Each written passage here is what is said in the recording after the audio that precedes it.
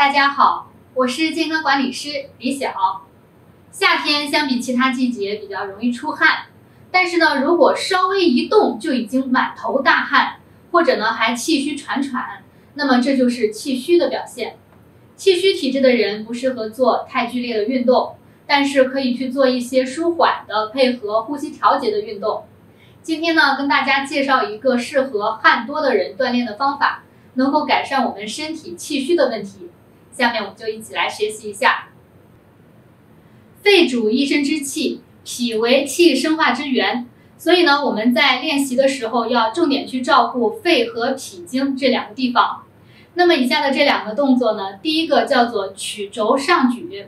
首先呢，我们把双臂在两侧耳朵的两侧曲肘，那么双手呢掌心相对，分别放在耳朵的两边，然后双手指尖朝上向上举起。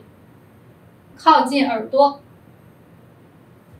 好，我们重复做这个动作三十次，在做的同时还要配合呼吸，在双手向上举的同时，深吸一口气，下颌可以微微的向上抬起，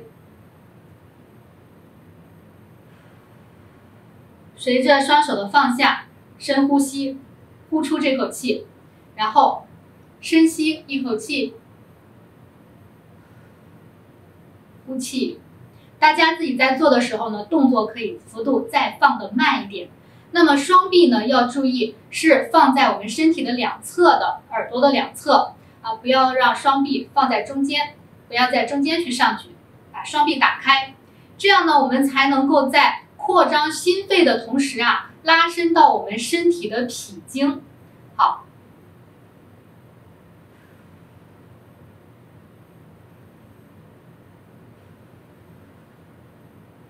连续做三十次，那么这个动作呢，可以非常好的改善平常有呼吸气短、觉得胸闷、喘不出来气儿的这种情况。第二个动作叫做抛空，在练习的时候仍然是坐在椅子上，上身保持直立，两膝分开，和我们肩膀同等的宽度。然后呢，先把左手曲轴，很随意的啊，很自然的放在左边的腿上。右边的手呢，做一个向前扔东西的这样一个动作，是掌心向上，所以呢，这个动作呢更像是抛而不是扔啊，向前空抛的这样一个动作。向前空抛，手臂抬起，指尖超过头顶，手臂尽量的向上抬，好像是我们在用力的把一个球抛过球网一样。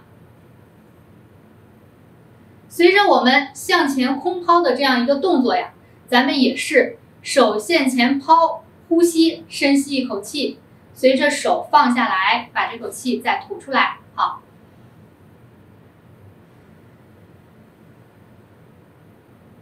左右交替练习，一左一右。接下来呢，把右手放在自己的腿上，左手，左手掌心朝上空抛。在抛的时候配合呼吸，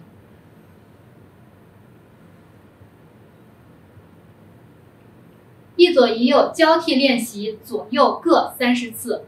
好，我们再来看一下侧面的动作。首先是左手曲轴放在腿上，右手手心朝上向前空抛，同时配合呼吸。在做的时候不要着急，速度放慢一点，幅度要做到位，让呼吸呢尽量的深一些。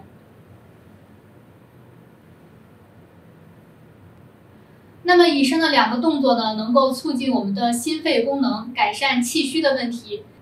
身体气足了，人就有劲儿了，那也就不容易出现一些虚汗、盗汗、自汗的情况了。气虚的人呢，一般都是比较懒，不愿意运动。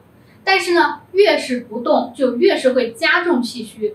所以呢，我们需要去逐步的增加自己的运动量，让自己养成这种锻炼身体的习惯。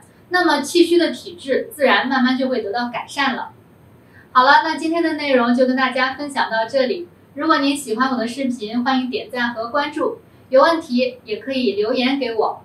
谢谢大家。